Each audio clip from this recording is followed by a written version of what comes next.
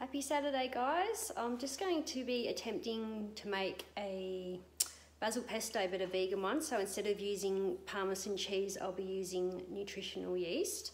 Um, so yeah, I've got some nice fresh basil and I'm just going to get straight into it.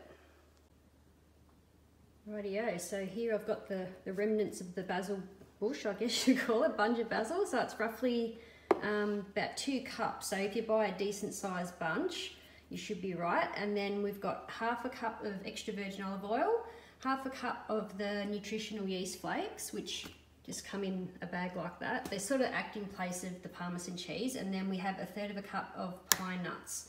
So I'll just um, get on with it. Okay, so in with the into the food processor with the fresh basil leaves and the pine nuts. Oh, whoops, I haven't put the blade in. Oh, oh, I'll be back in a second.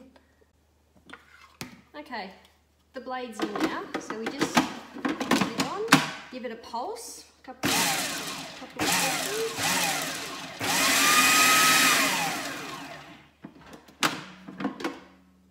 Then we add in our nutritional yeast. About three teaspoons of um, garlic. You can use fresh ones, but I just use this on hand because it's quick and easy for me. I haven't got time to muck around, but I do like using fresh garlic. But this is just the minced one in the jar.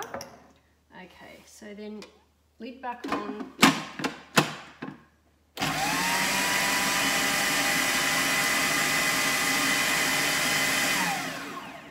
Okay, so once that's all incorporated, then with the food processor going, we just slowly add in the olive oil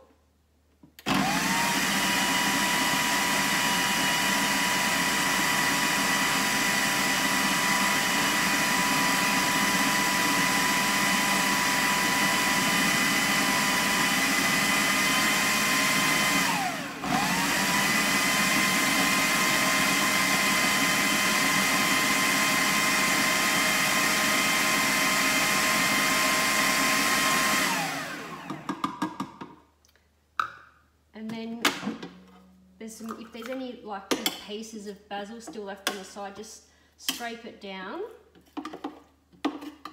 Otherwise, it won't be very nice if you have big chunks of basil. Oh, it smells awesome. Okay, so just put the lid back on.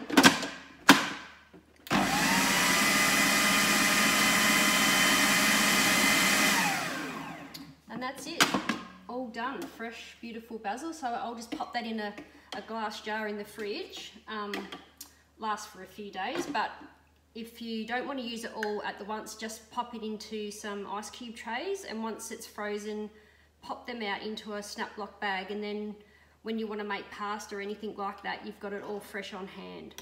So thanks guys, and yeah, I'll pop the full recipe in the description box. Thanks for watching, bye.